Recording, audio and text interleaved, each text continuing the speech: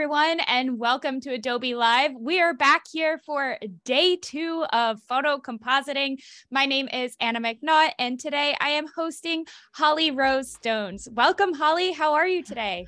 Hello, hello. Nice to be back. Yeah, I'm really yes. good. Thank you. How are you? I'm doing great, and I am excited to be hosting you again um, today or yesterday. We had a lot of fun working on some beautiful color edits, and today I think maybe your shirt is a little hint to what we might be doing, and it's one of my favorite colors, so you know I am super stoked for that. Love it. yes. Um, so just want to give a warm welcome to everyone watching us today and welcome everyone into the chat. Hello, Robert and Ferry, Oliver, Sam. Nice to see you all here with us. Um, don't forget if you haven't subscribed to our new YouTube channel for Adobe Live, you can do that to stay up to date with the latest streams and participate in the Adobe Live community. Lots of fun things happening over there. And uh, just a quick reminder don't miss our set of creative challenges right before this stream. You can tune in and challenge yourself with a new prompt every day. Really good to always just kind of brush up on those skills and continue to improve the craft that you're working on. So, without further ado, we will just jump over to you, Holly, and uh, and check out maybe a little recap of what we did yesterday, yes. and uh, and see what we got going on. Yes. So, yesterday we were working through the Blue Project. Um, and for those that weren't joined yesterday, I'll just go back to here. So I do a colour project, I've done green and yellow, and I've also done pink, but we're going to probably look at doing part two of pink, hence why I'm wearing the pink shirt today. um, and but yeah, so the Blue Project is what we focused on mainly yesterday. And I sort of revealed my new prop for it, which was the phone. Um, and we just talk, well, I talked through obviously compositing the images together. Um, this was kind of like the rough edit before I would go in and do like a really, really detailed edit, but I just wanted to get it all together in one piece so we could see what kind of it'll look like at the end. Um, so yeah, today I think what I'm going to do is do a little bit of shading, obviously where my chin's sitting on the top of the phone there and the back of the phone needs a bit of shading, um, a bit of shadowing. Um, and then I'm going to take it into Lightroom and I will edit how I would at the end of it, obviously compositing an image, and then it will not look exactly like this at the end, obviously, because I'll be then going into really refine it. But I just wanted to show you all that my way of, I suppose, adding presets and color grading and everything like that. So that's what we'll do today. Um, so the first thing that I'll do for now is the shadowing. So this is how I would really, I suppose, focus on creating a bit more depth to the image because obviously this is not super realistic image, but I want to create a bit more depth just to create like as though it could be realistic. Um, that's kind of the what I have in the back of my head every time I'm editing. So I'll add a layer. So I'm just going to group all these layers together here. So this is kind of the background. Um, so I'm just going to make that into a group. And then I'll add a new layer and what I'll do is I usually pick up a color just like near, if I zoom in a little bit, pick up a color around here, which is quite dark, but I want to go obviously for a little, a little bit of a blue. Um, so I'm going to pick that one um, and then we'll zoom out a little bit so we've got it in full screen. And then I will just paste in a little bit behind the phone. Um, and not, I'm not worrying about the chin yet because I'm going to sort of take that away in a little bit. In fact, then I will use a blend mode. And I usually like to just flick through this like we did yesterday, just to see what would what it would look like with each blend mode. And then I can pick one that's going to be like the most, well, I suppose the darkest one. So I'm going to go for a probably linear burn. And then I'm just going to turn the opaque down. And then I will add a layer mask and just take away where I've just overdrawn, obviously under my chin. And so the light is obviously coming from this direction here. So I want to make sure that there's probably a little bit more shadow on this side. So if I just take away a little bit more of that. And the, it, the light is really high up. I think you can probably see it in my eyes there. So we'll go a little bit darker underneath. It's kind of mim mimicking this shadow as well um, over here. So I just mm. kind of look around for the shadows that are already in the image and then I can sort of mimic that.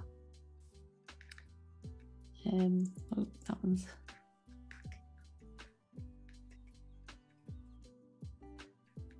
So when I again refine all this, I will add probably a little bit more shadow and to the actual telephone, which I might do in a minute actually, but I'm very eager to get onto the Pink project. So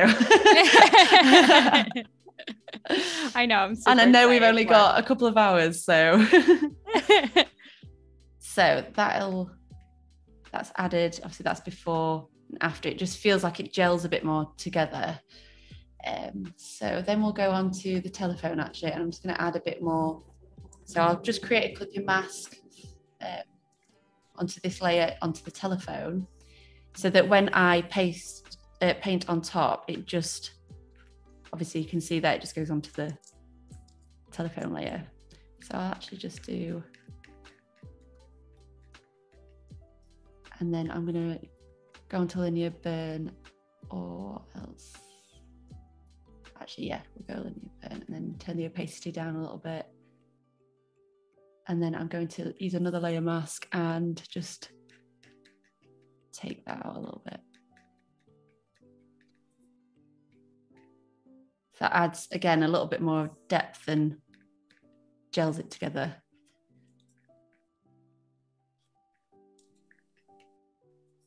So, um, and then I probably would go in with a bit of a highlight. So I'm going to highlight just this side of the image. In fact, what I'll do is I'll highlight the telephone first and then I'm going to highlight on top. So I'll get a new layer and then create another clipping mask. Um, and then what I tend to do is um, I actually what I'll do is I'm just gonna click on brightness and pop it up a little bit, create a clipping mask onto the telephone so you can see where the mask is just highlighted to that area. And then I will probably invert the layer, so Command and I if you're on a Mac, and then use the white just to bring it back a little bit.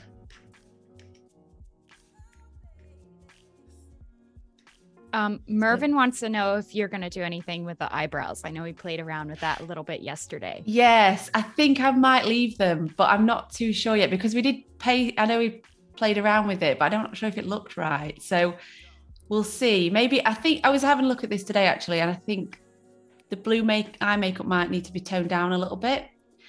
But that was just my thoughts as I was looking throughout throughout the day. So I'm not sure if I will tone that down. So I'm not sure if the eyebrows will look good in blue. So we'll see. Yeah. See how we get on. Um. So I'll just take those layers off so you can see. So that's what it would look like before and um, for the sh- shading. And then that's sort of after. It just sort of creates that little bit of depth again. And then i'm just going to go in with a bit of shading underneath my chin. So this is more difficult because you've got to know where your layers are. So obviously i've taken away i've put added the telephone on top but then taken away the telephone to reveal my chin so what i'm going to do is going to create a clipping mask for the telephone um, and add in, I think what I'll do is I'll paint it in. So add a new layer um, and then use the blue to just add a bit of shade in there. And again, another blend mode. We love a blend mode. Yes. so I like to, when it comes to shading underneath, I suppose like something that's not got shading at all underneath it, I like to add loads of different layers so then I can play around with um, to adding and taking away. So I'll just start with a little bit of shading first and add a cliff, a layer mask and take that away. And then I'm going to add another one, but on top of that layer. And I'm going to zoom in. So here, this um, edge needs refining again, but we're just focusing on the shading for now. So, so I'm imagining at the moment my head actually resting on a phone. So I always think, how would the shadow fall onto the phone? So it would be quite dark at this point. So yes, shadows are really always the kicker of the image. Yes, especially when it comes to compositing, because you want to make sure that they they look yes realistic. Yeah. Even though this is not a realistic image, I suppose it's just yeah, it's like how you I, still how wanna... I think about it. Yep, you still want it to be real, even though it's yeah. not real.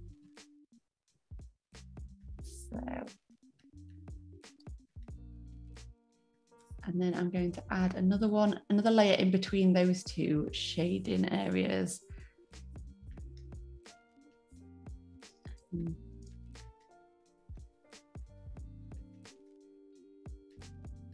then I will, it's going to be quite dark over here, so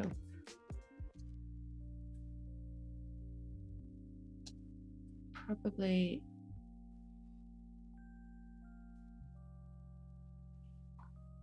linear burn again. Zoom out. So this area, so this is what I mean by adding layers on top of each other when it comes to the shading. So you're not adding, you're not focusing on one layer, just so that I can take them away and see where I need to add or take away.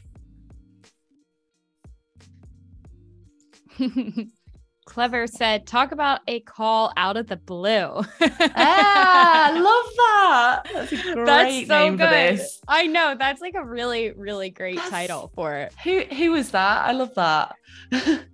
and and ringing in the ears. ringing in the ears. Love it. I love that call out of the blue. Clever oh, Devlin. Thank you for that. Is, yeah, that is a great recommendation. I love that. So this is where I think, like, when it comes to adding in, uh, well, when it comes to like the concept coming after, sometimes you just don't know, obviously, the concept before and the meaning of it behind it. But I think after, then you can think about it. So, yeah. And maybe I had that in my head when I was thinking of blue and telephone subconsciously. I know.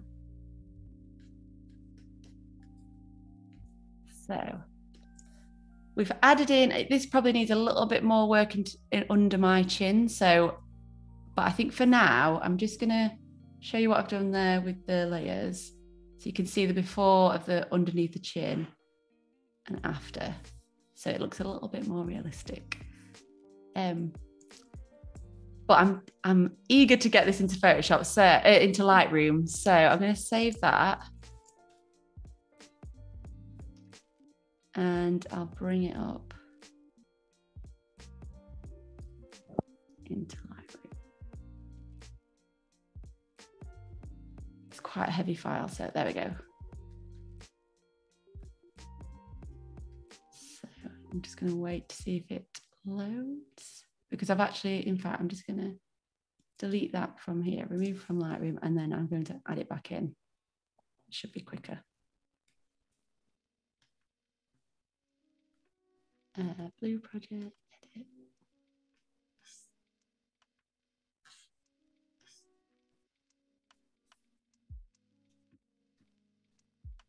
So just bear with, import. Okay, when it's ready. And do you always uh, bring everything over to Lightroom after you're finished with it in Photoshop? Yeah. So as soon as I've I know that I've got everything where I want it, I will then, and, and that's that's in terms of like cleaning up the background, doing all the shading, um, really almost almost finished. Um, I'll always bring it into Lightroom, and then I'll add my presets. So mm. if I go into develop, so I've got my color project presets here, and I have three. I basically work from three different presets. I'm not sure why this has happened, but I just over over the years of editing, I always have three different ones so that I can either merge them all together in Photoshop, which I'm going to do, and I'll show you in a minute, or I can pick one that I like the best, um, just so that I know I've got. And uh, what I'll do as well is I'll put this on each. So the color, obviously, I've got the color project presets. So each project then has a uniform preset. Mm. Um, yeah, I so, love that. And I like them to go almost a bit too wild. So as you can see, this has gone really blue or really lighter blue. So I like to um, export that one. Let me just find, oops, uh, blue project. Export that one. And then I will add the next preset which is color two. That's a little bit more uh, mute, well, not muted, a bit darker, a bit more. The sh- the the shadows have gone a bit more. Um, I suppose the blacks have been brought up a little bit in that one. So export with previous, and then I've got color three, which then here it looks like a very like sharp, sharp, and a different kind of blue. Mm. So I go export with previous, and then I will use unique names.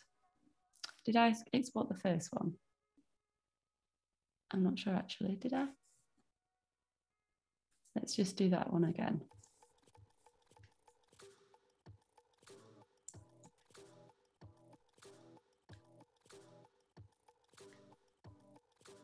So then I will go to bridge. There's the pink project. it's there. and then I'll pick up each one. I don't think I exported one. I think it was the middle one, maybe. Or it might be number one. It's a little bit slow today. There we go.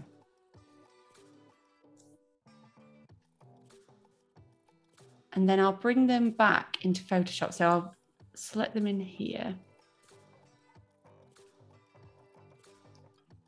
So you can see the different colors that I've got. What we'll do is I'll just use these two for now. So I'll go into Photoshop and then I'll keep the Photoshop file there. And I tend to just drag, oh, here we go. Are they the same? Yeah. So I'll drag. Uh, Fairy wants to know if you usually make your photos look more neutral first before you combine them all together. Uh, how do you mean neutral? Uh, so, do you mean the saturation? I, I or... think so. Yeah. Yeah. So what I do is I'll show you because I feel like just so I'll put these to the top layer. So I tend to just like flick through. Let's just show you the before. Oops. I think my clipping mask's just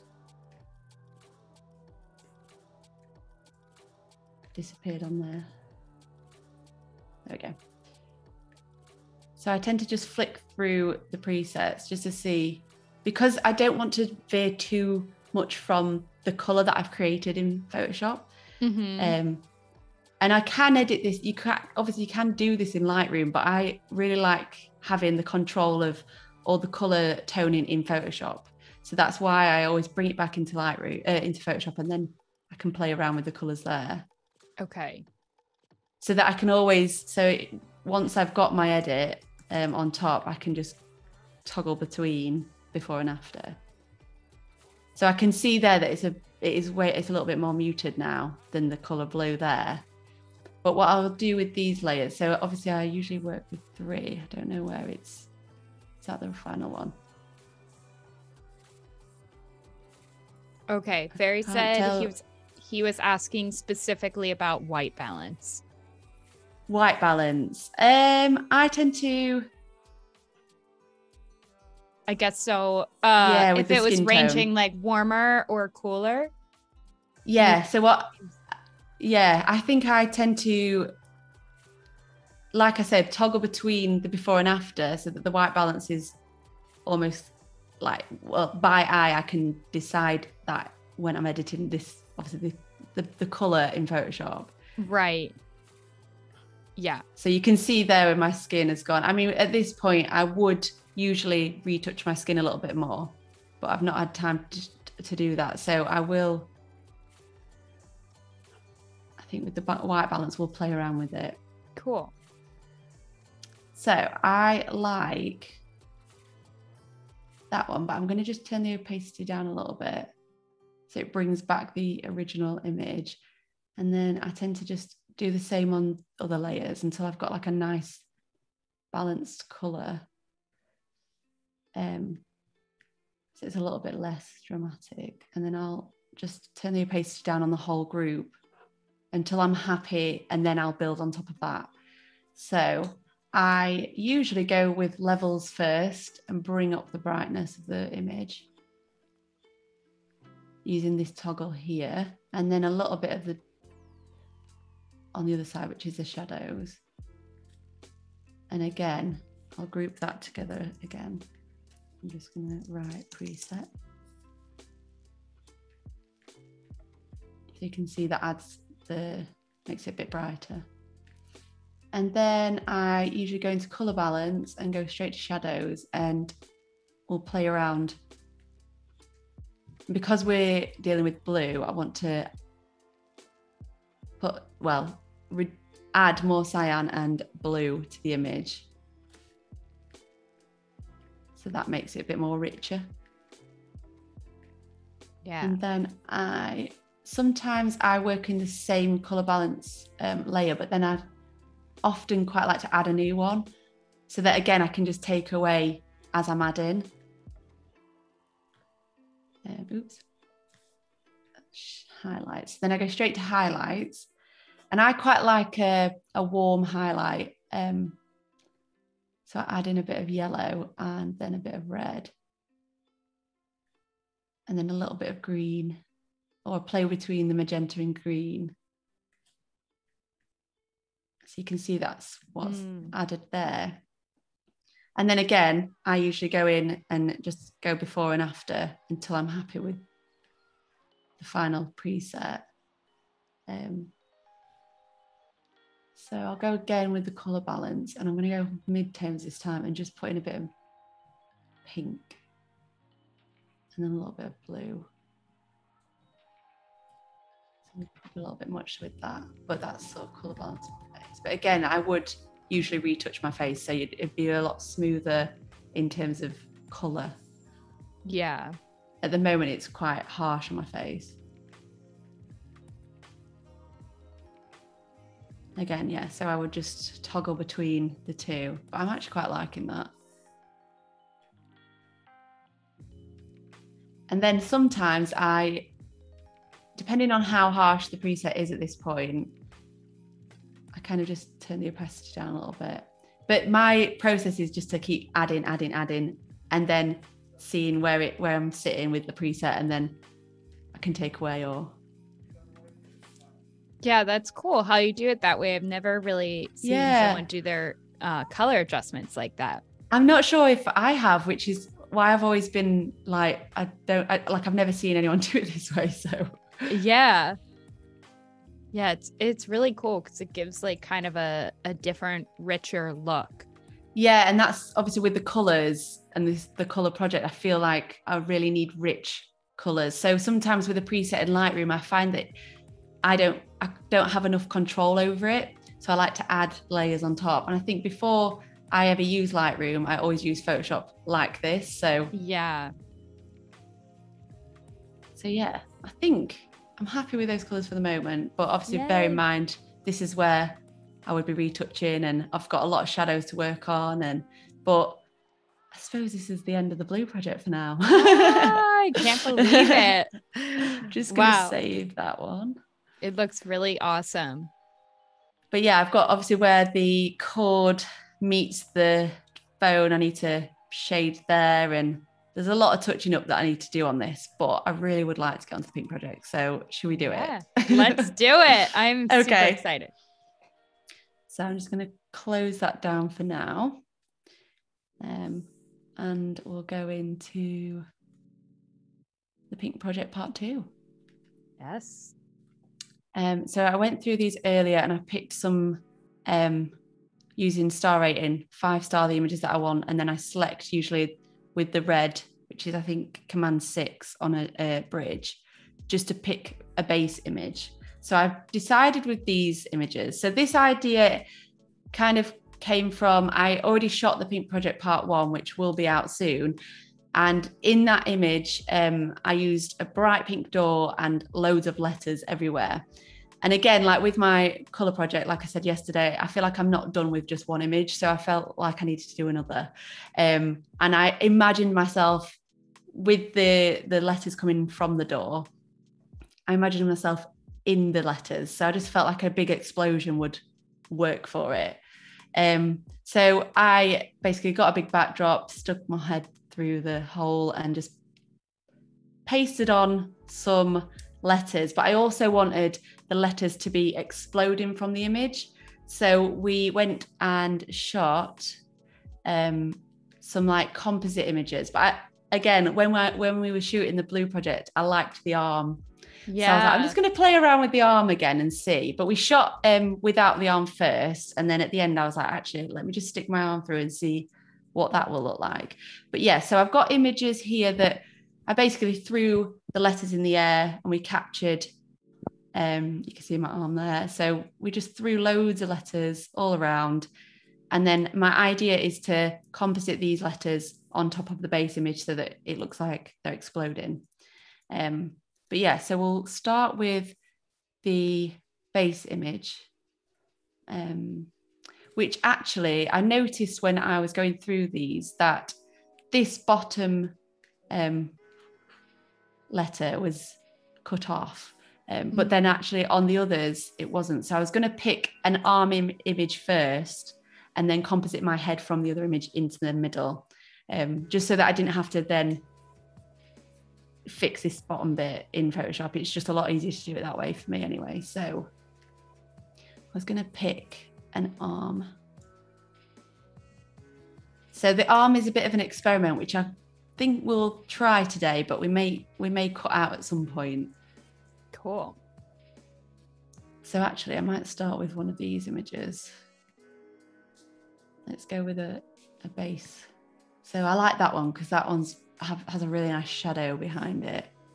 So if we open this up to Photoshop, and again, like I said yesterday, with the um, the size of my images, I always and the orientation, I always go um, four by five. But then with the portrait image, I like to just play around with it. It just gives me a bit of freedom. So this one, I think I'm actually going to do landscape because I feel like it will work like that. Um, otherwise, I might change it to square, but we'll see. So I'm just going to open that one up. Um, so the first thing that I was just instantly wanted to do then was to change it to square. so it's just because I'm not used to really working with landscape, but I feel like I'm going to challenge myself today in doing landscape. I know. I don't ever work with landscape either. No. Once I start working on it, I'm like, I feel weird. Yeah, it just felt really strange and I was ready to go to the crawl. um, so I'll open up actually the other images on top and then see. So the first composite image I'm going to use. I think I quite like this image of me because my hair is flowing a little bit more. And I feel like with it being like an expo- explosion, I feel like it's a bit more movement. So we'll open that one up.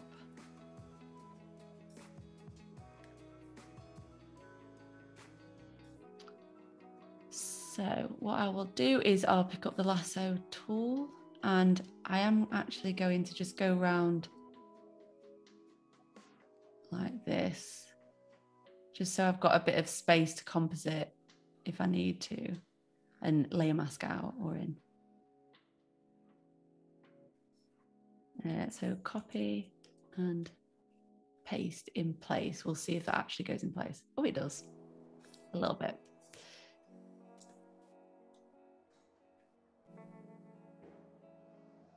So I'm going to turn the opacity down and just put this in So I can see where when we've been shooting, the backdrop was moving a little bit. So obviously that's where it's not quite lining up. Mm. But it's okay, we can fix that. Yeah, it's definitely pretty close, but Resize. Yeah. Resize that a little bit. Um I'm probably going to erase all these letters around it, but I just like to get it in its position first and then we don't have to worry about it later. Almost there. I think the perspective was slightly off as well, so let's just move around a bit. There we go. So we'll turn that back up. And we're like that.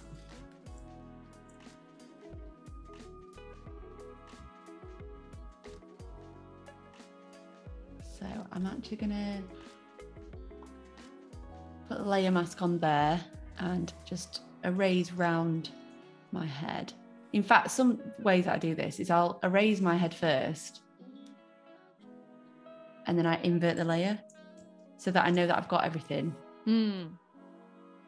Find that quite a useful way of doing it. yeah, that's much better. And then you don't miss any uh, areas on the on the layer mask.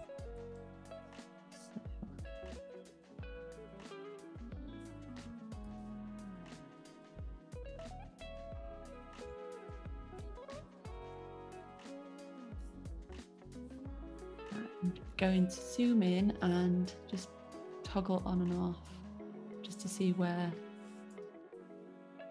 that one has. Needs to move down a little bit so just so this I'm just pressing command and just changing the perspective a little bit just so we can match it up Uh, Fairy wants to know if you use a remote um, or uh, Sony Imaging Edge to trigger your camera. Yes. So usually, if I'm working on my own, I will use Sony Imaging Edge, um, and I have it on a laptop. Um, but with this image, because I was behind and obviously poking my head through, there was no way that I could physically press unless the laptop was literally behind the backdrop. So I asked Jack to help me on this one. But usually I'll have the laptop. I think I did on this one. I had the laptop set up so I can see what I need to do. And then when the image comes up and pops up from the camera, I can then change change how I need to move my head or sort of like a preview and then I can see where I need to move from there. Mm, Um, okay. But I love Sony Imaging Edge. It's like the best. I used to when I did self portraits on my Nikon way back in the day. Um, I used to have a the iPhone app, but you couldn't change any of the settings on there, so it was really hard. So I'd have to go behind the camera, set the settings up, and then press literally take the picture, and then have to go back and forth if I need to change it anyway. Um, but with Imaging Edge, you've got all the all the settings there, and I quite like using like the burst mode, so you can change everything. It's just so good. Oh, that's cool. Yeah, so you can create a time lapse or you know anything like that. Yeah. Yeah, that's what I'm kind of lacking right now. I think um when we are taking when we set it up on the tripod and then trigger it to shoot for us, um it won't do a burst. It will only do one at a time. So we have to Oh. keep clicking. Yeah, that's what. Yeah, the Sony, the yeah, it's just it. You can do anything. You can. I think sometimes if I'm working on my own, I will do like a five image burst, and then I can go back and forth. But with it coming up on the screen, you can use Imaging Edge on your phone as well, uh, which I actually shot. The I'll show you this. This this one was actually shot with a window light. Um, it's just here actually. So I was shooting here um, Mm. and I had my phone on me at that point. So just because I had nowhere to put my laptop. Yeah. So yeah, it's so good. Yeah. I might have to look into switching to Sony. But I think with the Canon, you can put it on uh, like burst mode or continuous shooting. yeah, I remember we looked There's into way that and it, yeah. it wasn't working for whatever reason. But Oh no. I don't know. I need to search it, do some research on it again. Yeah. Uh, where am I with this? So I'm just going to add in. So at the moment, I'm just going round and adding or taking away where we've got letters overlapping.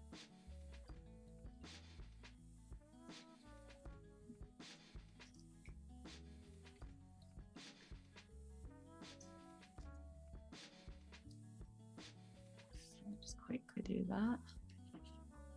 Just going to do before, after. And that's not too bad for now. So let's go for that version.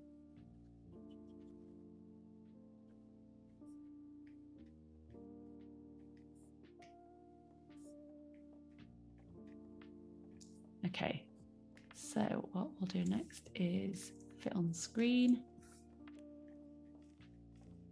Right, we've got the base image then, and a little flyaway letter here, which is good because it's already in the shot. I don't need to composite it in, but I will go and get some images to composite in now. So I quite liked when I was looking through these earlier. There's me.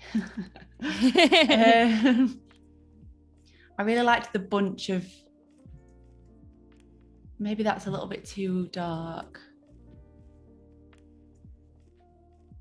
Like that one, maybe.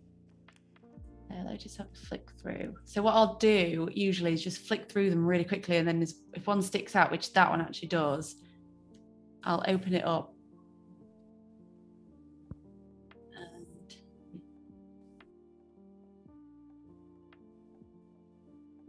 I like to just use that half of the image. So I'll copy and paste that on top.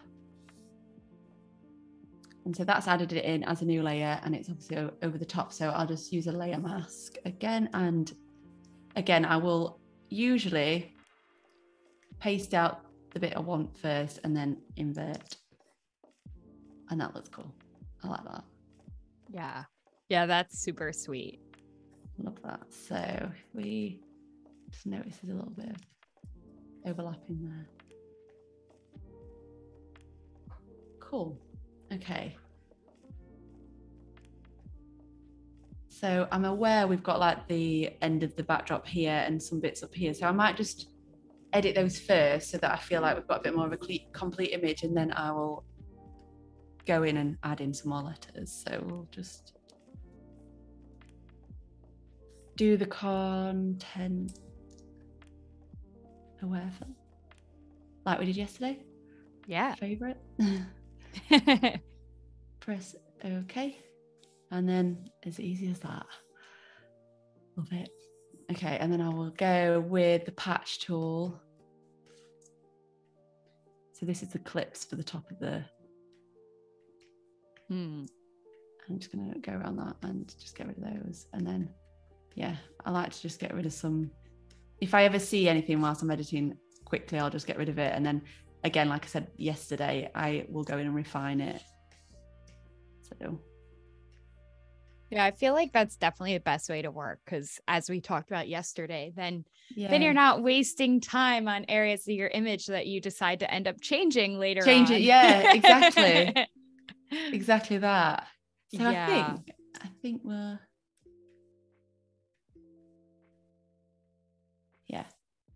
Yeah, because you can spend all the time cleaning up this backdrop and I might change it to square. So it would have been time wasted doing that. yeah. That's why the cleanup always happen, happens at the end. Okay.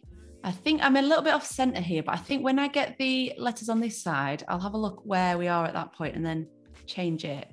Maybe move it over a little bit. So I'm going to just have a look. Oh, there's Jack again.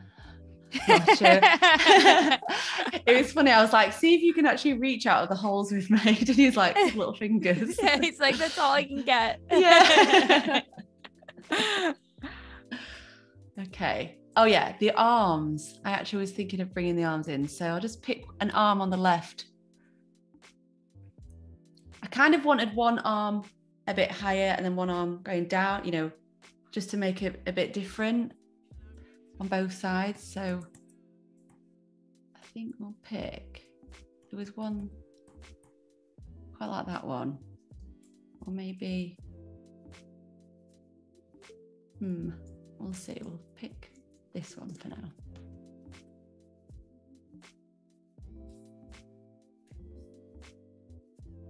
And as well, when I'm editing composites, I never change the perspective of this part until the very end again, because when you're compositing it in, you want it all to match up. And if I change the perspective of this now or, you know, move that over a little bit, it would be really hard to like line everything up again. So that's why I do all this first and then I'll change it at the end. Mm.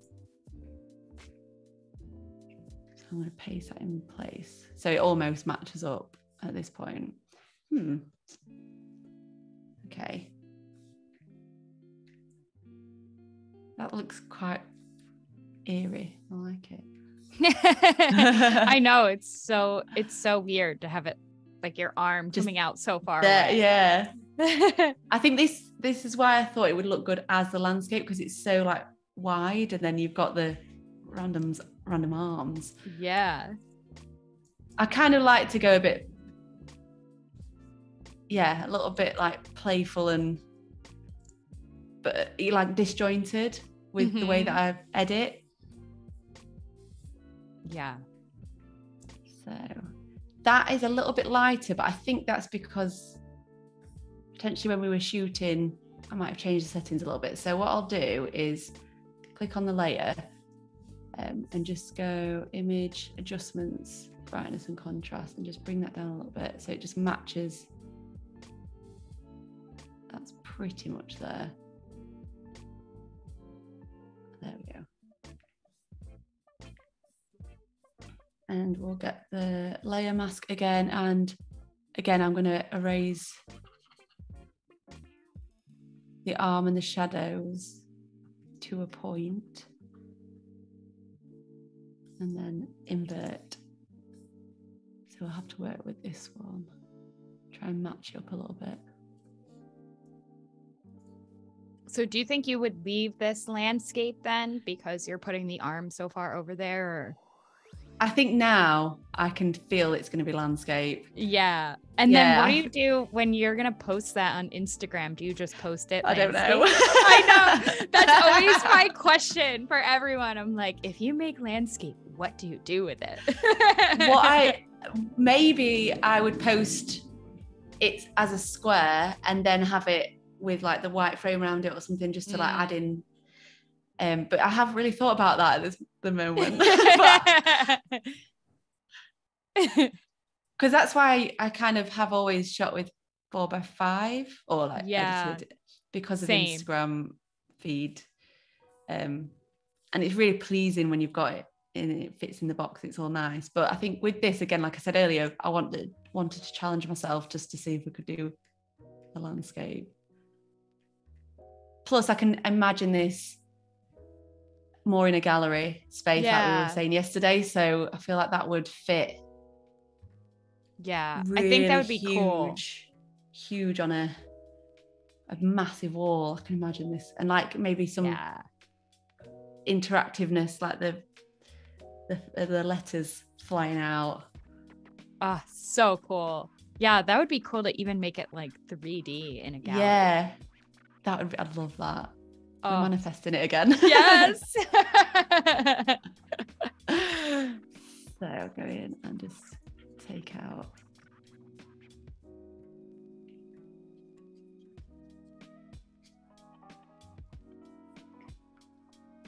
Add that little bit back in. We move that over a little bit there.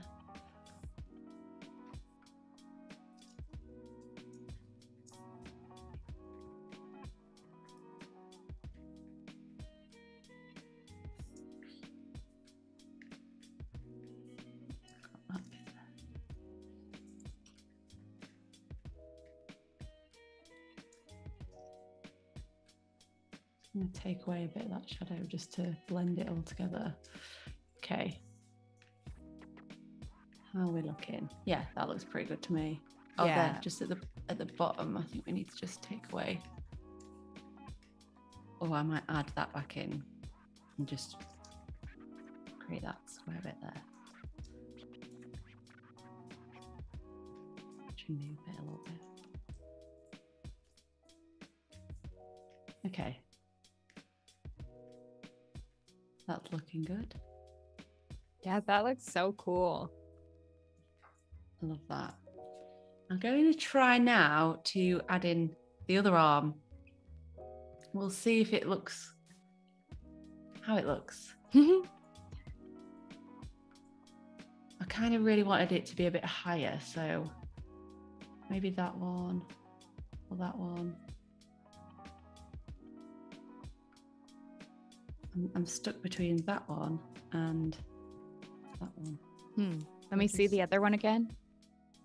I think this that That one. That one. Yeah. Yeah. Yeah. I think my finger looks yeah a little bit better on that one. Definitely. So open that one up.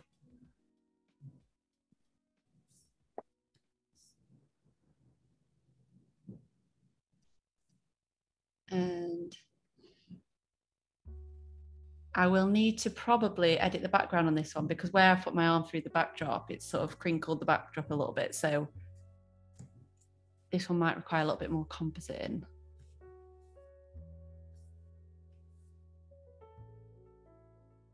More layer masking.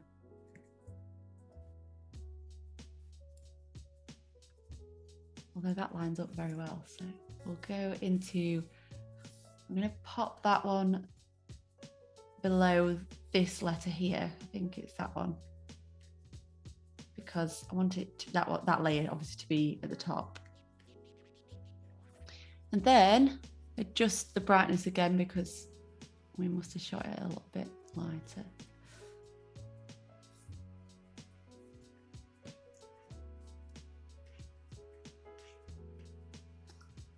And I will add a layer mask. I wonder how many times I say layer mask. I know, right? layer mask, layer mask. Layer mask.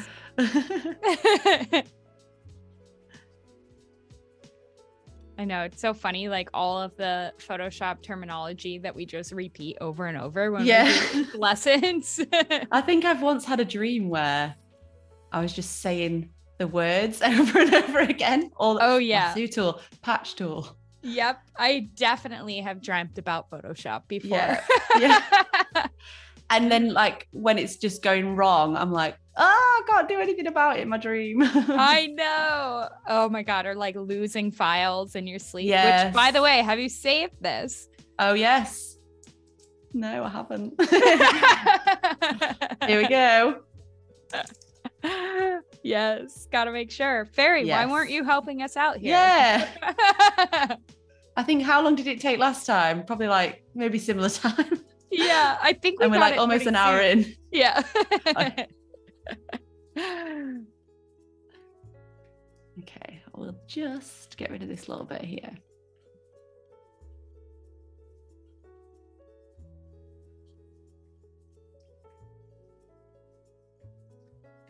Then I might move it over a little bit and add corner back in.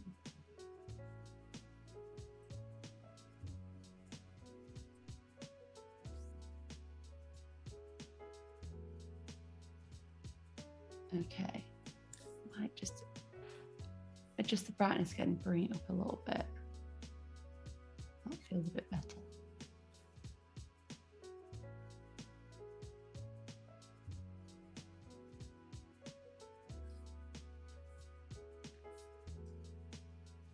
So, I've just spotted we've got a bit of a lighter patch under here.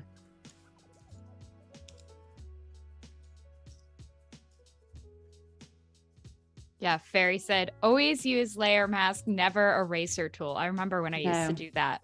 Yes. Yes, I did that for a long time. Isn't it weird to think that there was a time when like we didn't, didn't exist, did understand layer mask? Yeah. I, I don't know. I I wonder if they've always existed, but I remember I just I couldn't wrap my head around the concept of a layer Yeah. mask. It was like I remember, yeah, I always remember like doing like which one was which, black and white, which way around, and then I'd be, I, I couldn't understand it for a long yeah. time. Yeah. Yeah. I know. Same. It's really funny.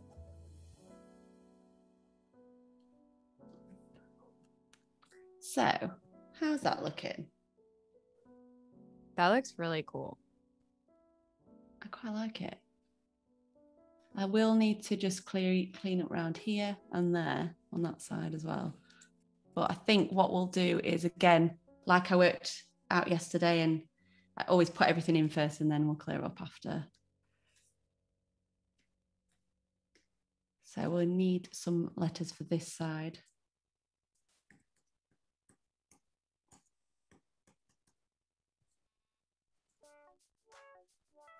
Um, I quite like those.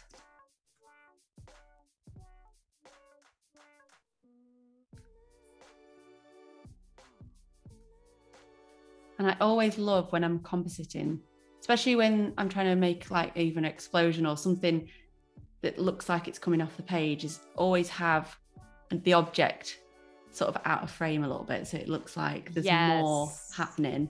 Yes. So I can see there that these ones here, I've got the shadow here. So I'm going to select around all of this because then that saves me adding in any shadows later. Oh, well, that was good. Perfect. I'm not sure if I like these two, so I might just layer mask that out. And keep this one because I like this one.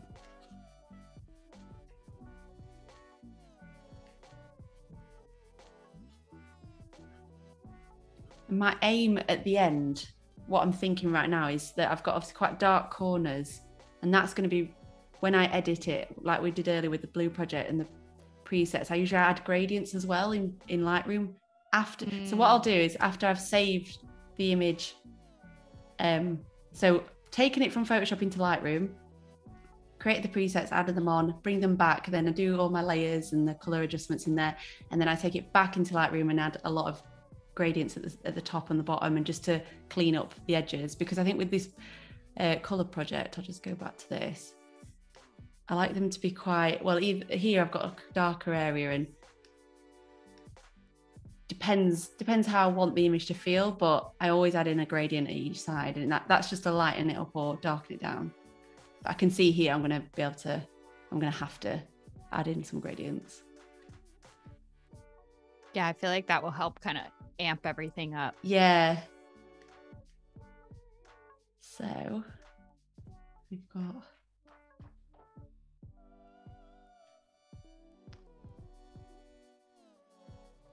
I'm going to move that layer below that one.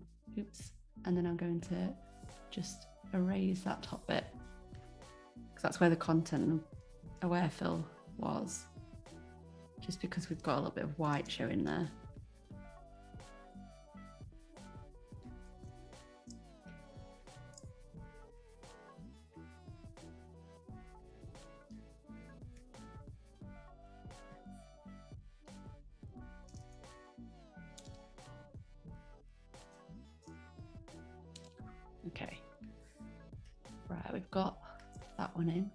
Few more.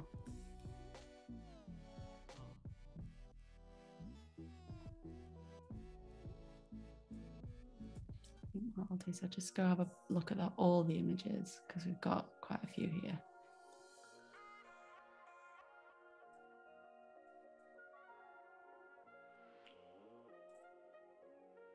Yeah, I feel like this could end up taking so long. If I was just doing this on my own and not yeah. for a live stream, you know, just delicately picking each envelope. Each, and... Yeah. I can go back and forth for hours. Yeah, and it ends up being like, okay, which one looks good? And then yeah. you second guess everything that you're thinking. That's definitely what happened with the yellow project because with that, I'll just go back again. The placement for these took probably about five hours in total just just the placement before i'd even like wow. actually co- you know composited it all out and cleaned it up.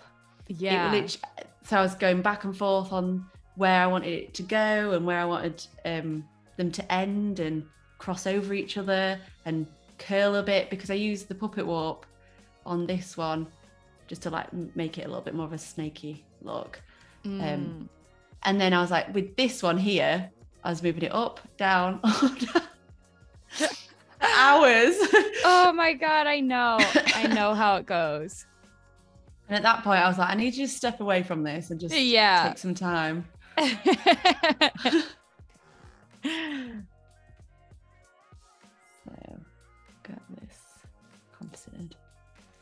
under here. This might cover that one, and I really like that one. So we'll have to. I think I like this really far corner one.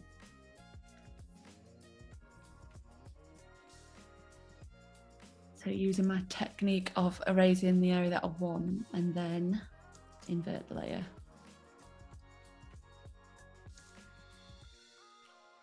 And I already know at this point that the shadows here are too dark for what I want. So I think at the end or when it when I get to that point, I would probably make them a little bit lighter so they're not as Mhm. deep.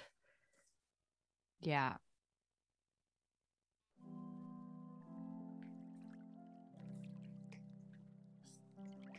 It's quite interesting to say what I'm doing out loud as well because usually this all happens in my head on my own. so it's quite interesting to see actually that's the decisions I'm making. So this is this is good for me. Yeah, it's actually interesting how helpful it becomes because you start to kind of be like, oh, well, why am I doing this or how am I doing this? And yeah, yeah, it's really interesting. I really like those two, so I'm gonna add those ones in.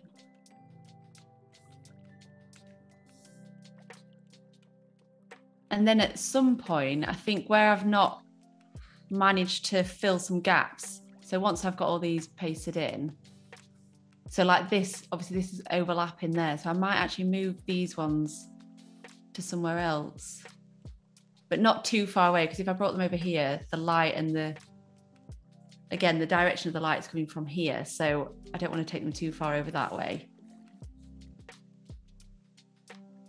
I mean, I can edit that, but I just like to make sure it's, you know, I've got some, I've got some letters for over here, so we're all good. Mm.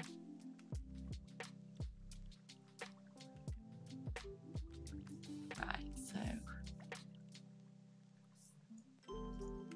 we'll layer mask that out.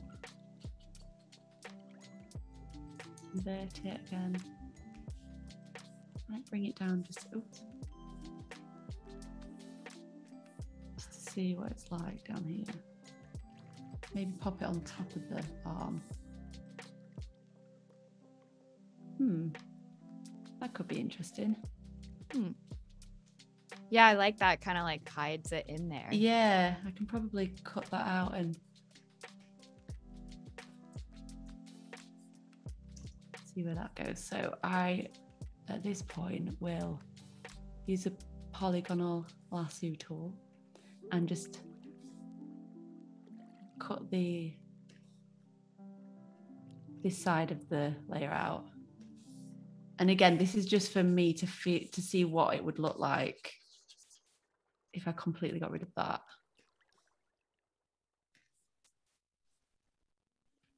So this bit here will need. Because I might have to erase this part, not the letter, but just this part under here, and then add some shadow back in.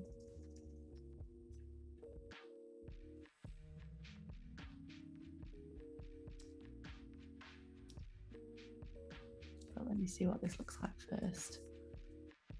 Yeah, quite like it. I like that. I love Okay. that. Yeah, I feel like that works. Maybe you need to just turn the brightness down a little bit on that layer. This like really feels total Valentine's Day vibes. Oh yeah, it does actually. I feel like Oh, it's like let me be your Valentine and it's like exploding letters. Lots of love. You'll definitely have to post this on Valentine's Day. yeah. When is that? February. Might be. Uh, fe- yeah, then. February 14th. Do I, think, I don't think I'll be able to wait. Yeah. Oh yeah, I could do that. Yeah. I'll post a reel on it on that day. Yeah. Because I've got all like the behind the scenes of these images as well. Um, and they'll probably be going on my YouTube or and Instagram and TikTok. Probably. Yes. Because as much as I love editing the images, I also really love doing behind the scenes videos. Um, because I just really like seeing. I personally love watching progress of an image and how it like starts from idea to execution to Photoshop to editing to posting. Mm, I love watching that kind of thing. I know, me too. Yeah, I saw a couple of yours and it's like it's really cool how you do that. And I I like I yeah, seeing the behind the scenes is just so much fun. I think it's because you sometimes you, your mind can go to how is this actually done, and then you you see like a behind the scenes or before and after, and it's like wow, that's so Yeah. different to how I expected it to be. Yeah, it's like really satisfying for some Yeah. reason. So I think I'm gonna bring that one down there a little bit.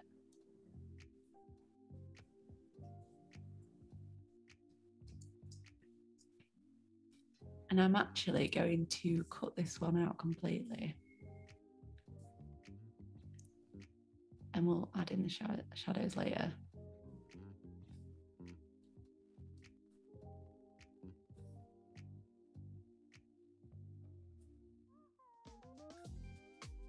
So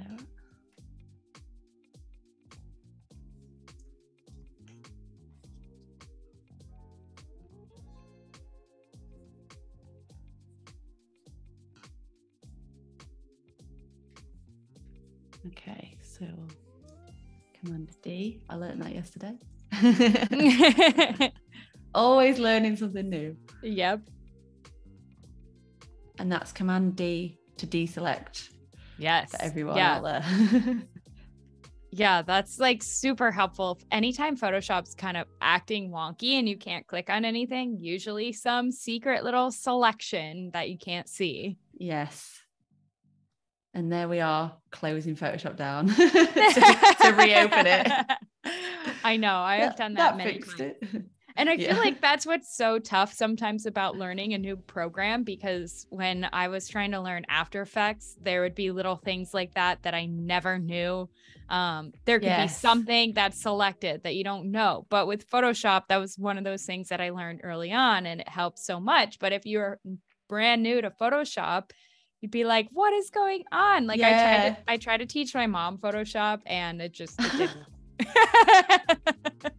Where did you start? How did you She- start with it? so she really wanted to be able to edit family photos and like Oh yeah. stamp stuff and like clean Yes. it up and i'm like this is easy these are the few things you can do but then little things like that if something was selected she'd be like why the whole program's not working Yeah. And there was yeah.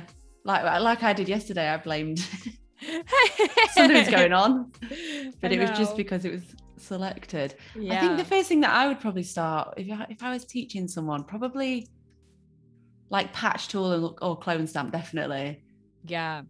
Yeah, I decided a few years ago to make a course called Photoshop for Beginners. And I Yeah. basically was like, oh, I'm going to take on teaching someone as if they've never opened Never- Photoshop yes. before, all the way through creating like composites and text and editing Yeah. photos. And it was like, That's amazing though. That's so it cool. was so hard.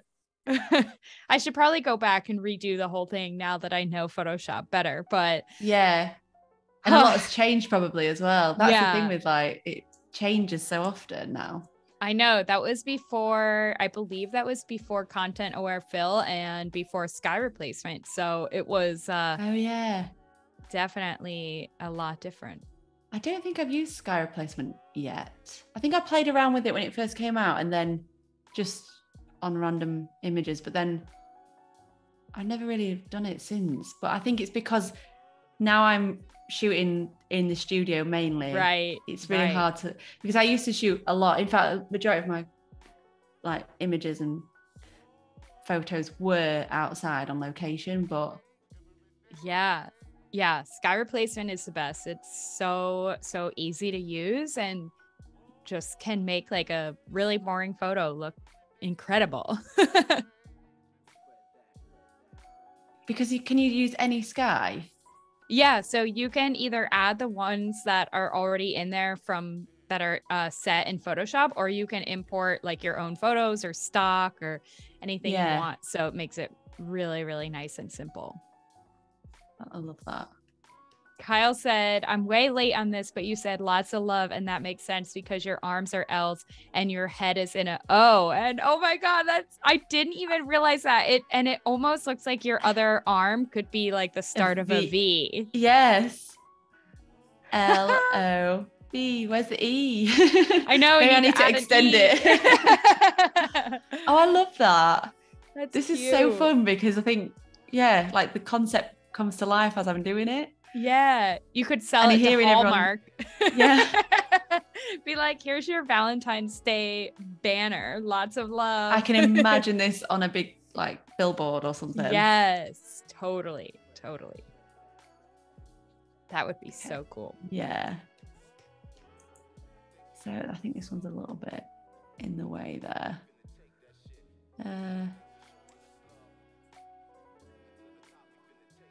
because I really want my hair to be on show, so I might move that one. I think I might just store that one for a moment and come back to it.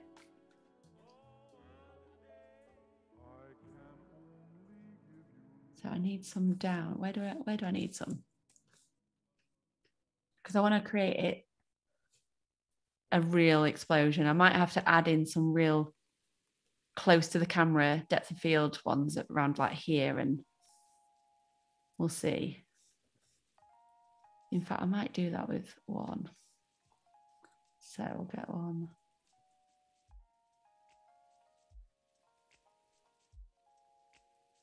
That one's quite nice. I like that one.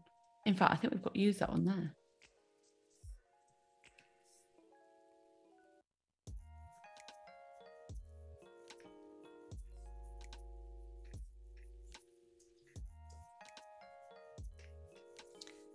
Going to pick this one up.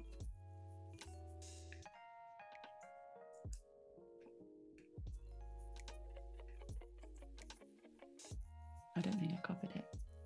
I always end up with a million tabs at the top. I know, me too.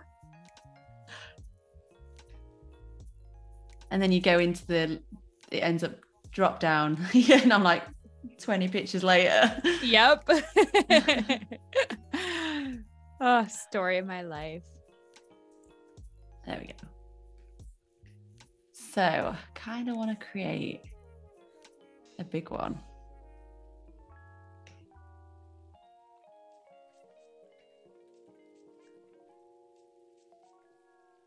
Add that in here.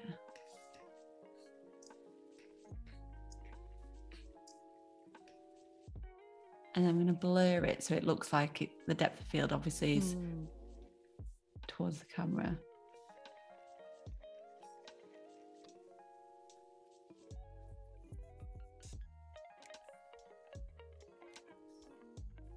So with that, I just obviously the lasso tool around it, and then you just press on the layer mask, and it obviously gets rid of that. Oh yeah, that's cool. Move it a little bit. Oops. Think I can add that bit, back in.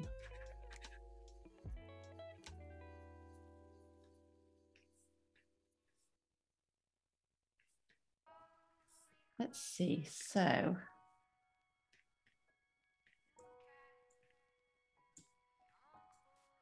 um, I tend to do a smart object. Oops not a smart object. I like a vector file, actually, a rasterized layer. So then I go and do a filter, blur, Gaussian blur.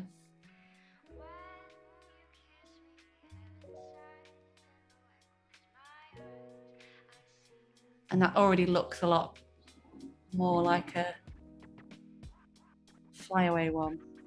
I think it's a little bit big though, so we might just take that down a bit.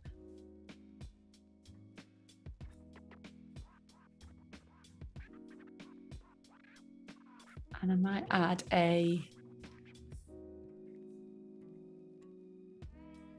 radial blur just to add a bit more movement to it. Yeah, that would be cool.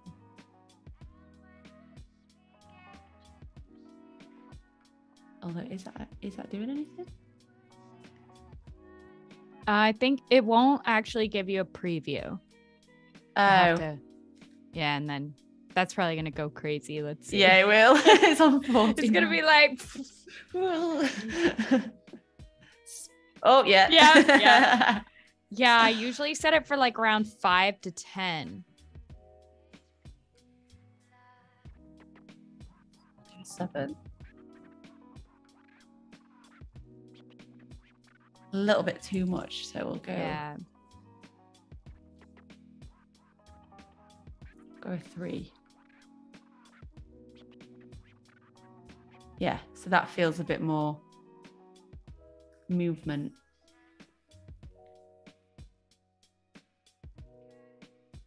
But I think I'm going to just keep that there for now because I might move that out of the way over here or again it's just an experiment isn't it at this stage Yeah.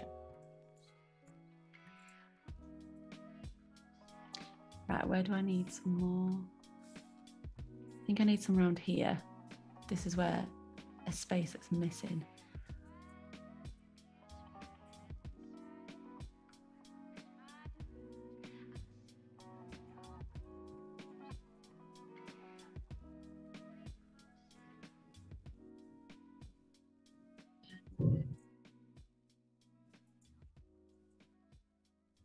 Maybe that one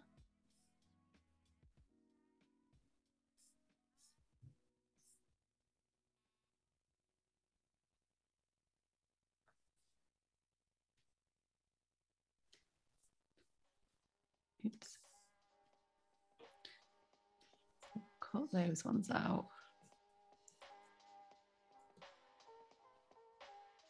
I feel like I'm in full concentration mode now. I know I'm getting like sucked into the edit too. I'm like, hmm. I quite like these two ones here. I just need to bring, oops. Click back on that layer. Uh, image, brightness and contrast, and bring that down a little bit. And then again, layer mask. I'm to take these ones out. And then invert that layer.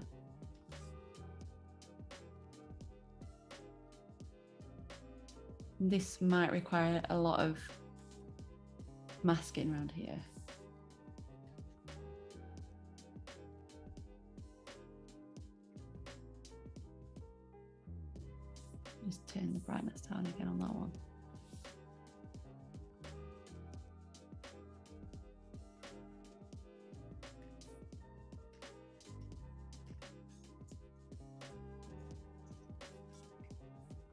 That's the blue from the blue project creeping in.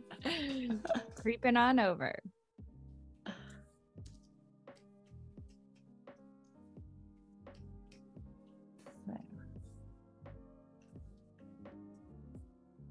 So did you say that part one of the this pink project's already finished? Yeah, so that one's already shot. Um, just waiting on Brand to tell me if I can post it or not yet. So can't really expose it yet. Ah. but it's it's the it's very similar vibe to this. Okay, Um, cool. It's sort of I mean I could probably explain. It's, it's, it's a door and it's got coming out of the door all the letters and again it's coming towards me. So it is kind of an explosion. yeah. as such. So that's why I was kind of again interested in doing a really big explosion again, um, just with the portrait. But I just I kind of wanted to do like I said earlier about the experiment with the landscape. But Yeah. this is I think this is the project for me at the moment is just experimenting. Once I've got the main image, the image that I really I've focused on, I've done lots of props for. I just want to revisit it again and just see how I would actually go about it again. Yeah. And what I'd do different. And it gives me that freedom to go again. Yeah, it's really cool that you're doing two for each. Yeah, I think that I never intended to do that, but like I said with yesterday with the green, um, I saw I had this in on, in my mind anyway, and then I knew that there was going to be a little frame on the wall that was always going to be part of the image, but I wanted to color it green because I was like everything needs to be green. There's so it it sort of leaves the audience wondering why there's a green full green frame on the wall essentially Right. Right. and so when i had finished this i was like wouldn't it be nice to create like a different world through that frame and then that's why i kind of had the idea of like it'd be nice to show me putting the frame up on a wall kind of thing or holding it up um, and then you've got this uh, piece i suppose where i kind of like i had this perspex piece of it's clear perspex and then i painted on it and again using a bit of paint in this one so i just That's wanted so It's Yeah, so just- awesome. I love that idea of kind of like these little things inside of your pieces becoming a, the next a image. It's new like yeah yeah, it's like stepping into your world. It's almost like a little game. Like you're kind of Yeah. looking for that hidden piece. and what would come next. So when I post Yeah. the main image or like the main green project, pink project, blue project, like what's next? I suppose with the blue projects is a bit different because I've already got the prop. But then I know that I've got the prop, but I'm making it big. So that's kind of like the excitement of the next image is that what's this big prop slash phone is going to look like? I suppose I it is a little that. bit of a, a little bit of a world that I'm living in, Totally. and I'm like letting people in. yeah. Yeah. Yeah. Kyle like with- said a, ra- a rabbit hole of creativity. I love that. Yeah. And I might at some point go back and visit these ideas um, or revisit the props or maybe even join them all together at some point. I don't know, Mm, that could be an idea. that would be really cool. Like a full So- rainbow. Rainbow, yeah. Um, I was going to say something. Oh, yeah, with this one, I actually did a bit of a GIF. Uh, let's see if I've got it on here. Um, so I did a moving image for it. Uh, in fact, it's probably best to show you the reel. So I'd actually Ah, moved. That's cool. How did you do that? Is it a video inside the frame?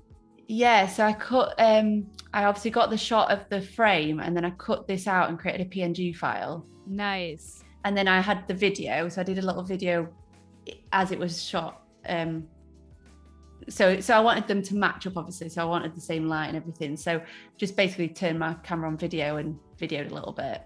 Yeah. Um, and then I wasn't intending on doing the GIF or the video, but I just sort of I was like, oh, this would be quite nice to add it all together. So then I brought it into Final Cut Pro and just merged the two together. I love it. That is so, so awesome. And the little flowers on top, like, what a great touch. Yeah, and I, I just had another vision. If if this goes in a gallery space, it'd be quite nice to have like a a TV screen on the wall with this kind of next to. Yes. I think that would be Yes, cool. totally. I think you have to start pitching some I know. galleries. I you really. have a great think plan. yeah, I think this has definitely helped me understand where I want to go with the gallery space. I think your input as well has been so helpful. yes, good. I'm glad. Well, we'll have to keep in touch after this. Yes, and, uh, definitely. and talk all about it. yes, hundred percent. That'd be amazing. Yeah. Uh someone in the chat said although the colors are the same, it's very comfortable to the eye, super creative. I know, I think that's what's really unique about your color work here is that even though every all the colors are the same minus your skin tone, like it's it's not boring or too monotonous. It's like really really pleasing to the eye where normally Oh, we might be taught to add in like a complementary color or different tones of that color. I Yeah. just love that it's like one shade. yeah, I like that that like idea of obviously me just being the the other color in the image. Yeah. I think that's quite interesting. Yeah. Um, yeah. Very cool. and I kind that kind of brings in the like real human aspect of Mhm. these. especially with the storyline of it being my world that I'm in. Yeah. I'm still here, but this is all going on around me. Yeah, and for you like breaking out of kind of these uh more muted color tones and embracing this bold, beautiful, Bold, yes. colorful world. Yeah. You're like the one thing that's like the the Consistent, natural, yeah, yeah. consistent color and then you have all these yeah, really awesome. and actually I think um after I did the pink or this pink project part one and this one, I was like, I actually might dye my hair pink. But then I was like, yeah. And then we had the blue yesterday, but I was like, no, I think for this project, I want it to be consistent. I have obviously get Mm. I've gained a fringe in the meantime, but Ye- yes. Oh my god, I think pink hair would be really sweet. I'm actually thinking of dyeing mine purple in the next few ah, weeks. I can see you with purple. I really, really want to do it. And then I think for winter I'll go back to brown, but I figured I need to match my art, right? yes, I would love that. I'd love to see that. Um this is it. I feel like I'm matching my art all the time yes, yes, exactly. Um, Kyle had a Yeah. question a little bit back about Yes. um how did you keep the shadow when masking in the last two envelopes? I think it was a maybe Which- the one? one? above your arm. Yeah, maybe that one. Yeah. and was it the this this one here and this one Yeah. let me just see where that one is Yeah, I think maybe that one. and let me just see where the other one is yeah so this obviously is the shadow from the other image or the original image. Oh, i've lost it again so you can see here that i need to do a little bit work on the shading Oh, underneath yeah. there. So from far away it's not too noticeable but again when i go in and refine it i would probably add in a bit of shading there and just clean up this line a little bit. And this line here needs actually cleaning up too S- but with the other one You just kind of like much, yeah. masked it, Masked it. leaving leaving the shadow, Yeah. right? Okay. and sometimes i actually will tone down the shadow a little bit depending on because that's quite a thick shadow if that's the word thick but might be yeah, and just kind of like blend it in. Yeah, so I try not to erase the actual one, the actual letter. Because, uh, yeah, you can see the shadow there. That to me is too big. So I'm just going to take away that.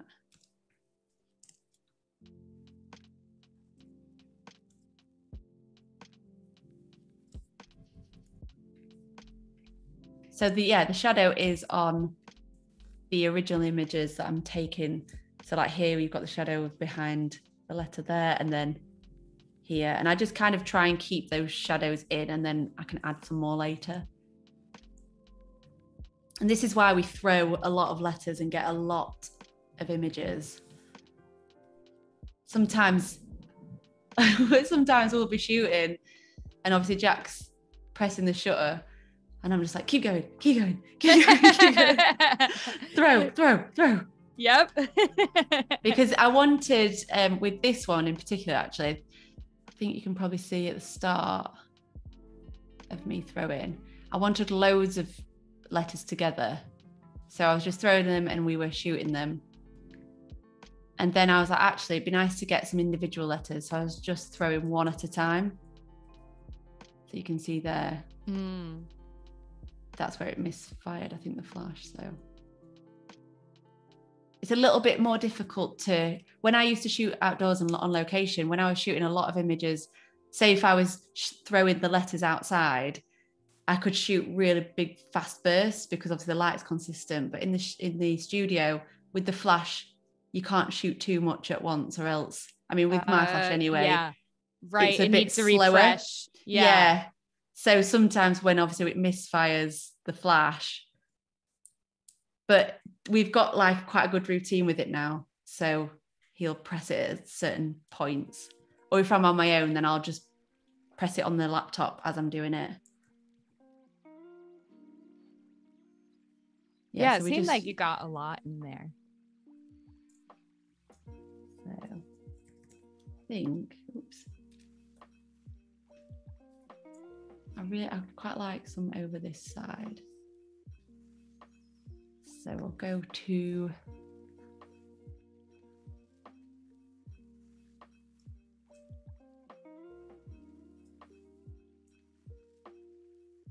Oh, I think actually before that, so we cut the hole in there at the start. Have I got that one? I don't know actually. I think we need to go for a bit further down on the right hand side. Like that one.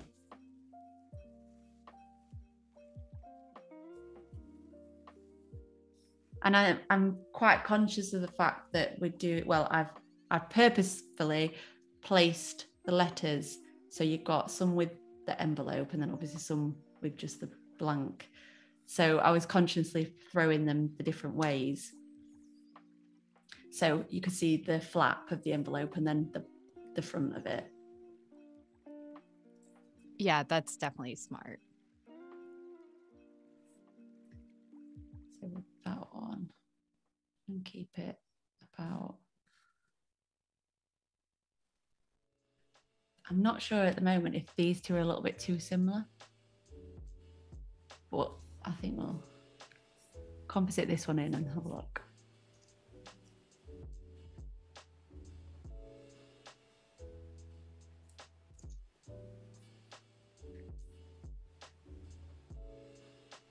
So for the the pink project part two, uh, one, this one's number two. I actually edited in stamps.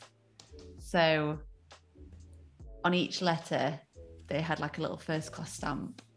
Ah, that's so cute. So I might eventually do that, but then that that is quite a it's a process of making sure that they're all the the, the right perspective and Yeah. But again I've got to wait until I'm allowed to post that one first and then I can probably edit them later. So I'm liking this, but I feel like it's a little bit off. So there's something not right. Let me take the arms out for a second.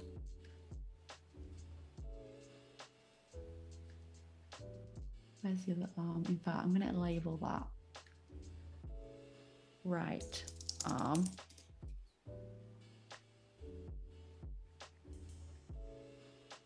Why can't I find this arm? Where are you? there you go. arm left. So take arm left and right arm. I don't know if I prefer it.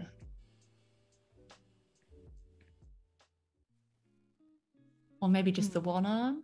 I don't know. I really like both of them. Yeah. Yeah. I don't know. Let just take them out. Let us know in the chat what you all think. Yeah. Do you like two arms, one arm? And if one arm, which arm? Left. That's left. And then that one's right. As we're looking at it anyway. it I know would be the now now uh, now I'm like if I was seeing this for the first time, I might like that, but I've gotten used to the two arms. Yeah.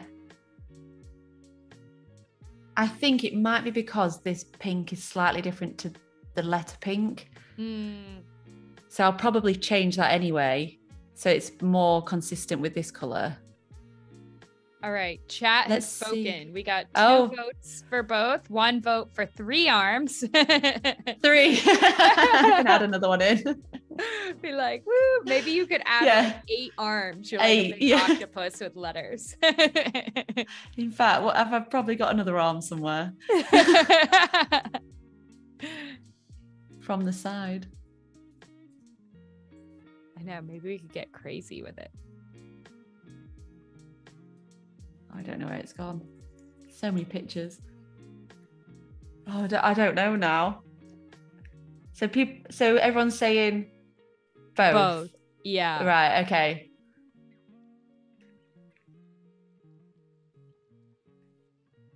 I think if we got if we're going to have both, we need a bit more movement down here. Maybe and over this way. So I think I might need to put in a little bit of a a blurred out letter here, but we'll see. I'll open open one up actually.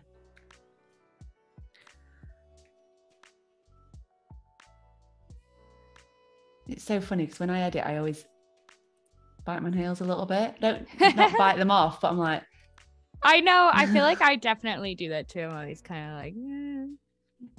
Kyle said doing a GIF of your arms going crazy would be awesome. oh yeah, that would be that's so a great cool. idea. Yeah. I just want to come back and edit my projects on here every time because you're giving me some great ideas. I know. This is a great collaborative project No. I know. That would be one major pro to like going live on Behance, just like on your own page Yes. and stuff. Is you could just be like, help. yeah. I love that actually. Great idea. Yeah. Okay. Where am I going with this now?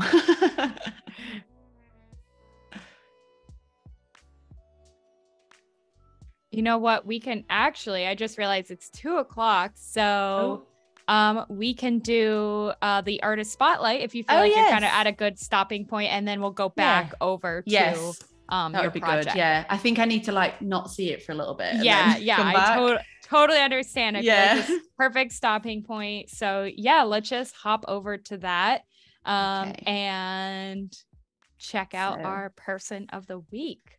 So, my artist spotlight is a very lovely artist called Emma Black.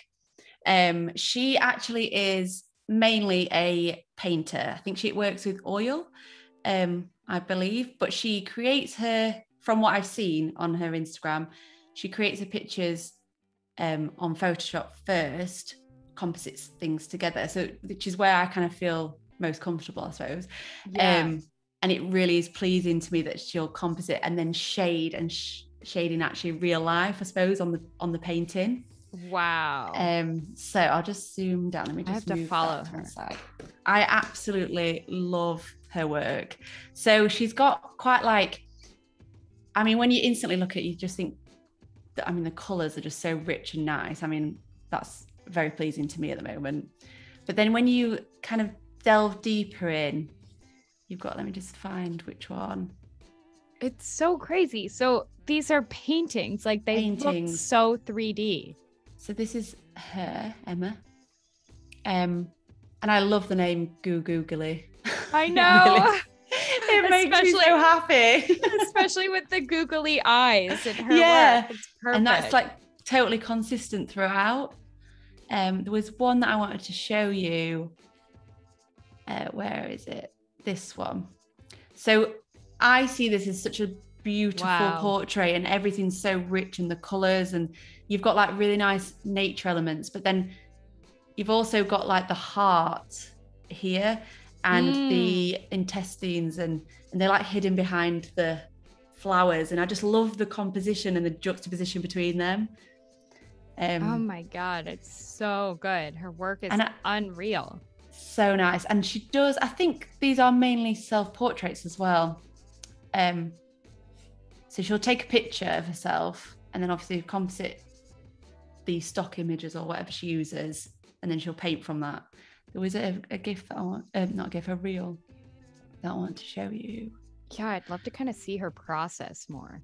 so the finishing touches she sort of hang on yeah she adds this lovely shine on top and that is like adding a preset for me i'm like oh, I know. can just see it come to life. I know. Oh my god. So it's just so nice because you've got that like you can see that it's a bit more muted and then as soon as that goes on the rich black and i'm like oh so pleasing Yeah. Oh my god. I've never seen anything that looks like this. I'm just I'm totally blown away. I'm like looking at So her nice. reels too on my phone and it's yeah Oh yeah, okay. So it's almost like she's compositing uh like see if I can the find- sketches or something first.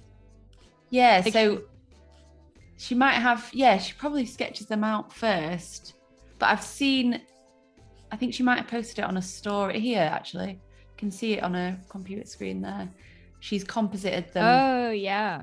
and then it reminds me of Photoshop and my process of like adding the shade, but she's doing that on canvas. So that makes me really happy because I'm like, this is just like real life shading, I know. but a lot harder because we can just erase quickly in Photoshop. yeah, like how the heck? I mean, and you said it oil paint, right? I think it's oil. I, I believe so. Oh my a look. God. Yeah, oil paintings, pop surrealism and creepy stuff. Wow. Oh, Um, like that's that's a total dream goal of mine. And look how real it looks like a photo. Does doesn't it? Like just the, her techniques is just amazing. Oh my god, I want to buy a print from her. I know, It's so same. um, she does drop them. She does a few releases like every so often, or when she finds cool. a print in the background, she'll sell them on. And but yeah, she's done a few. Oh my god. and Just like totally. I love her blown away. workspace as well. Love the way that she's just got everything on the wall. It's just big splash. So so cool. Sometimes I wish I was like a painter like that and made everything in real life from scratch and not on a computer. I'm like, that would be so cool to just be this like crazy artist doing all Yeah. sorts of cool art and like have paint all over you all the time. Yeah, yeah. I sort of started painting my own self portraits recently. That's what I kind of got into with the oils, but yeah. It's just a work in progress at the moment. I think I just want to show you this one here because they, she paints the background like a cut. It's usually yellow actually, and I just love that she Ah. builds from that. So she does each individual section. Wow. I wonder why she paints it all yellow like that first. Um, I'm not sure. I think it's, I think that's painted on. Looks like board MDF maybe or something. Oh, okay. So maybe So it's like maybe it's that's the primer. Material. Okay, yeah. Yeah. Um, and like there's another one you can see.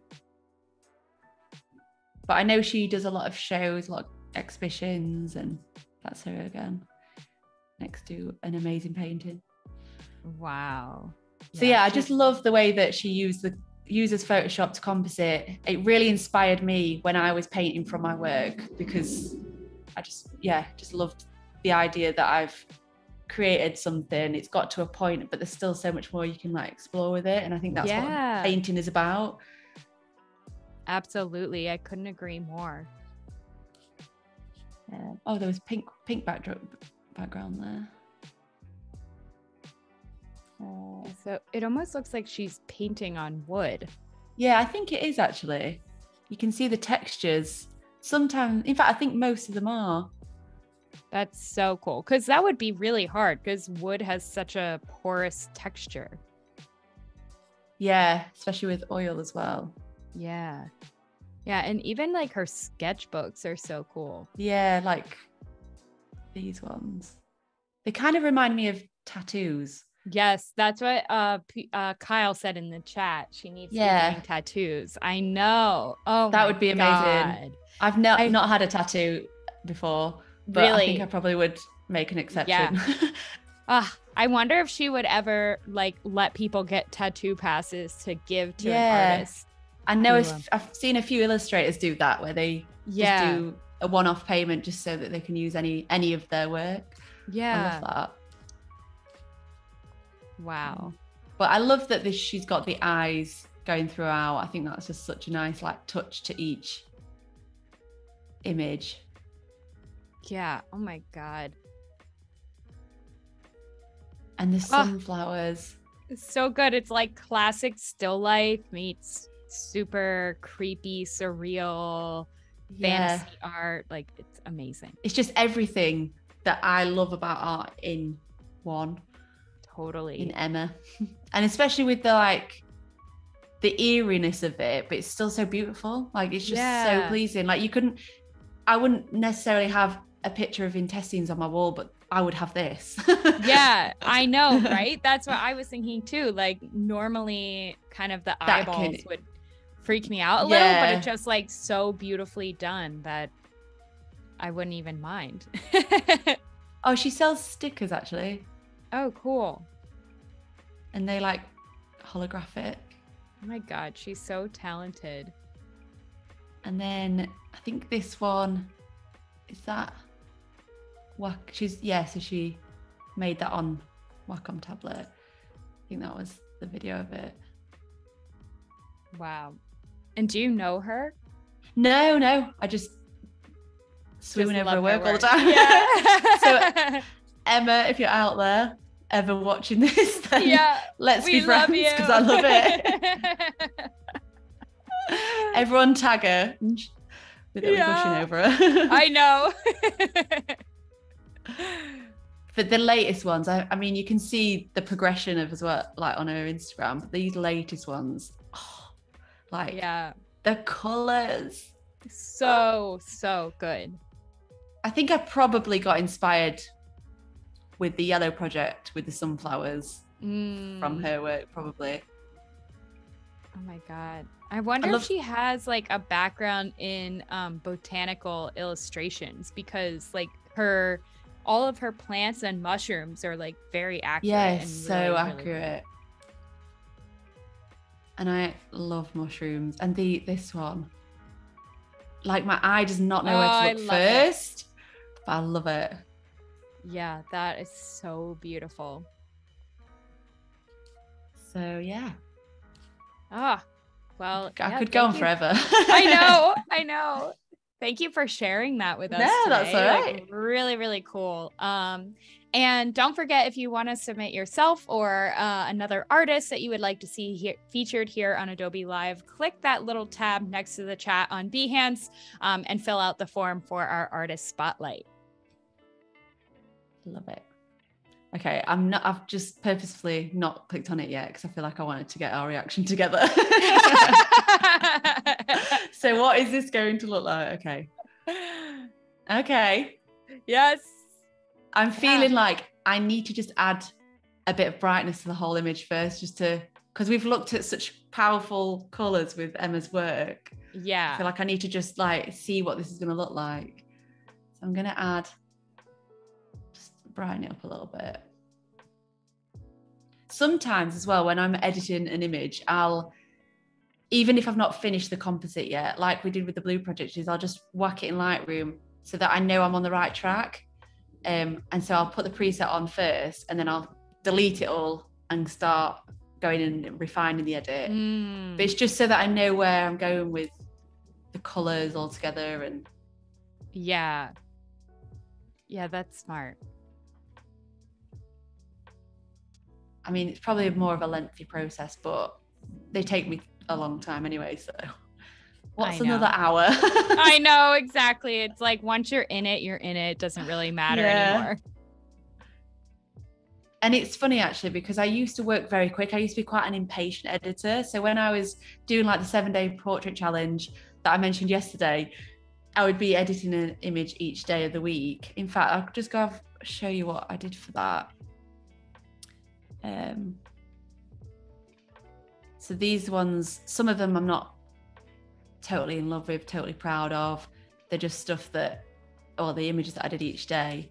Um, this was the latest one actually, but if I zoom right down to the bottom, Oh, that's cool. so you can see the progression of my work in this, which is what I quite like keeping this up.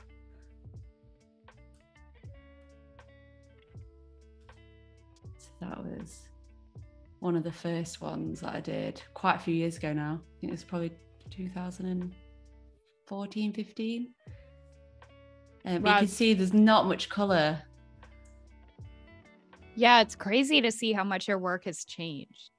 totally changed. But with these again, like I was just gonna say, I would edit them really quickly, so I can see a lot of mistakes in these because they Mhm. were edited, uploaded on the same day. Yep. I can see. So apart from, I think this is my absolute favorite one of the series. Um, I love it.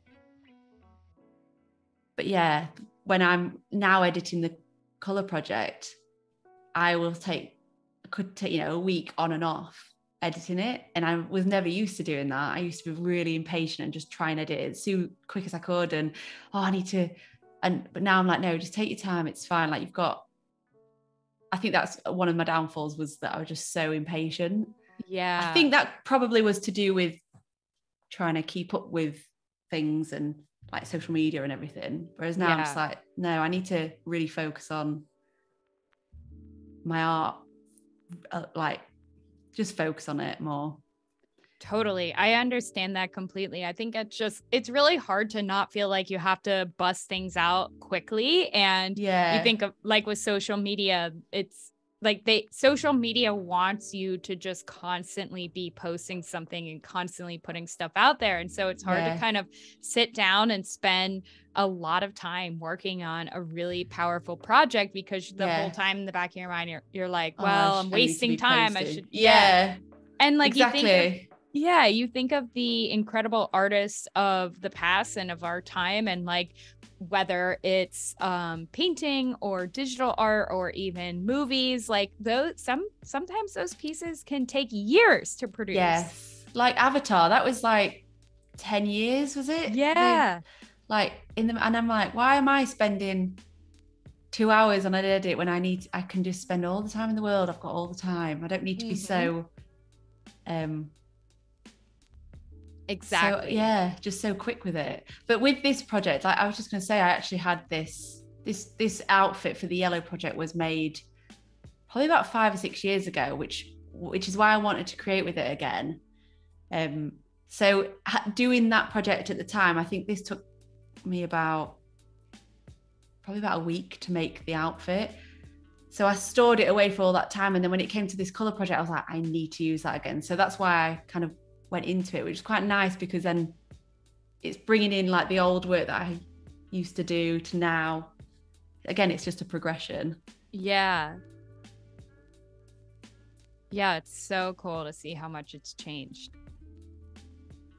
I mean, this one I'm not too impressed with. I know. A lot of- a lot, yeah, I have so much posted it on my that. yeah, I posted it on my Instagram, and everyone was like, "This is giving me is it trypophobia?" Oh, yeah. I was like, "Yeah," Yeah, totally. but this image is i think when i did it it was like literally just so this is only like two years ago now um but that's when i started working with like flowers this kind of looks a bit like emma black's work kind of maybe i got inspired by her Yeah. with the flowers um but yeah that's probably one of my favorites actually but yeah so it's changed a lot since then Yeah, it's really, really cool to see how much your work has changed. And like, I mean, now it's just so much more powerful. Obviously, the colors really help a lot, um, but also just kind of where you're bringing your art from. You can see that this is like a personal mission versus just like a random idea that maybe came yes up. Like, yeah it has it has so much more meaning behind it and clearly something that you're trying to express and i think yes that's uh the beauty of it all and what what shows now I think that's definitely a good good description of it, and in a nutshell, that's where I wanted to go. I was I was feeling a bit un, un, unauthentic about my work for a while. I was like, this is just too too quick, too rapid. Like, why do I need to be doing that? So when I got the studio, I was like, I've got the studio to spend as much time as I want to creating these sets, and it's just made it's just I like I'm just on another level now with my work. yeah i totally I feel so agree. anyway. yeah i i think so as well like it's really clear to see that and and when you feel that then that shows in your work. Like they've always said Definitely. they have always said like Yeah. they, right? Like they're they're people always say um when you're not in love with what you're doing and you're not feeling it It's- anymore then that shows in your work. And when you're like yes this is it. Like i'm so proud of this then that shows as well. Yeah. I think it's hard as well because as artists we're very self-critical, we all are. Um and this work, this body of work was where I've just been the most confident and like you say it's it's shone through. Um absolutely so I'm not really sure how much time we've got left. Is it we only have a couple minutes left, like five minutes. Um, Okay. so I don't know if you have any last things that you want to touch on, and Um, uh, anyone in the chat, if you have any questions for Holly before we wrap things up here. Yeah, let's. I can answer some questions. Let's go for it. Yeah. yeah. So yeah, I have obviously filmed all of these, like I said earlier. So my YouTube, I'm going to be uploading a lot more over the next few months. Um, I've uploaded obviously all the green project and the yellow project. They're already on there. So if you do want to see behind the scenes of those, then they're on there. Cool. Yeah. So where do you, what direction do you think you're going to go in this? Is it pretty much done? You're just going to do the color grading and final. I think I'm going to probably go away and really think about how I'm going to make this more impactful because at the moment I'm feeling like it's just there's not enough explosion going off yeah. for me. I feel like we need some more depth here. I'm not sure about the arms still, but I think I, I know, do need to I go away and I I like them. I don't know. I really like that. I wonder if you bring them closer or something. oh yeah. Let's see. I'll have to fix all the Yeah.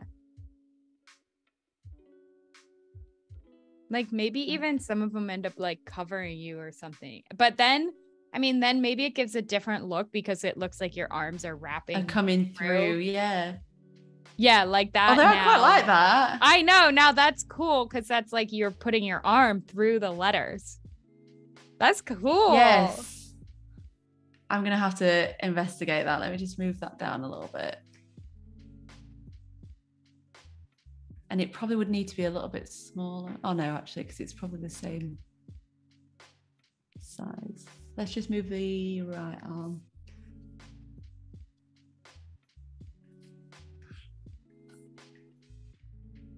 Oh, that's so different now. I know. I like that. I quite like that. I actually like that better, I think. Ooh, ooh, and then kind of like up over your head. Yeah.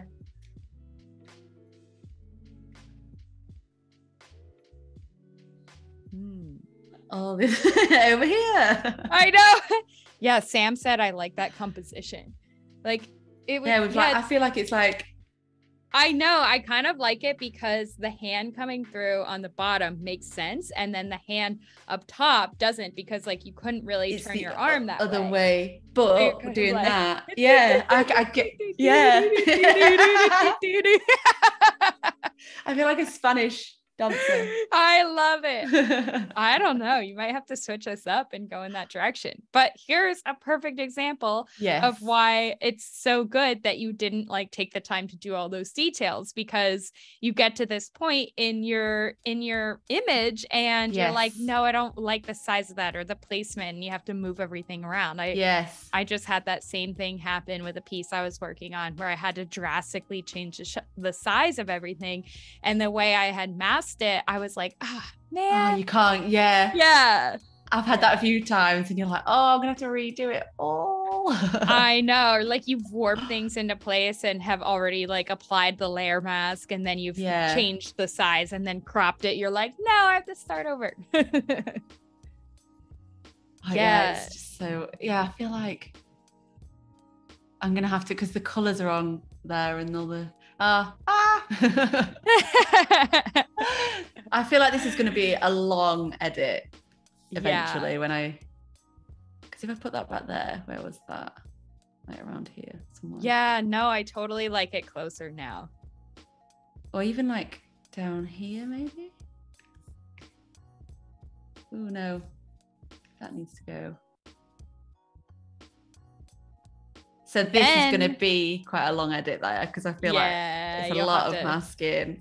Yeah, you. It almost would be better to just like fully cut the arm out and rebuild your shadows rather than Yes, trying I to keep probably yeah, because that is going to be impossible. Yeah, But it's nice because I've got a really clean arm there. There's nothing, nothing in, in the way, so it's I could just yeah.